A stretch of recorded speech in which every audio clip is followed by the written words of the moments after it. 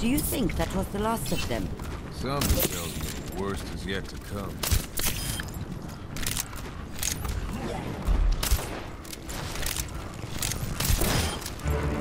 The ground shook as Dr. Junkenstein's creation was.